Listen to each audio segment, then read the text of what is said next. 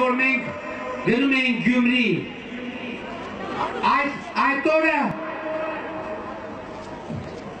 իմ մեքենայի մեջ էր նաև Արսինե Խանջանը։ Եվ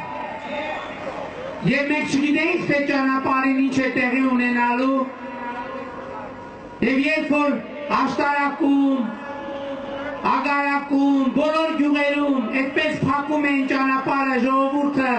եւ մենք դուրս էինք գալիս, մեզ դիմավորում էին աղու հացով, երկով պարով,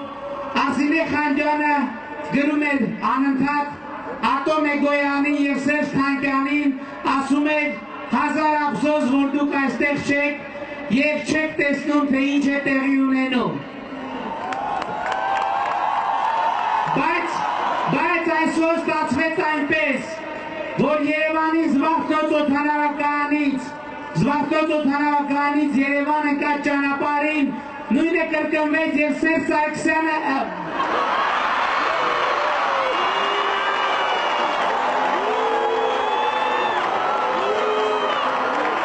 Լսի, մոտ ասի, ինձի մի մերջ եք կաջիս, մի մերջ։ Սերժան, ինձ մոտ վերջին 15 տարում ավտոմատ ռեժիմ ա, որ ասում եմ Սերժ հետևից Սարգսյանը գալիս է, այդի կներես։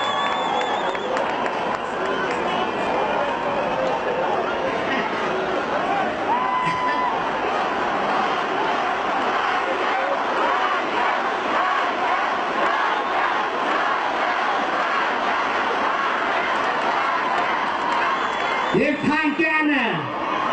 եւ Թանկյանը սեփական աչքերով տեսավ այն ինչ որ տեսել է Արսինե Խանջյանը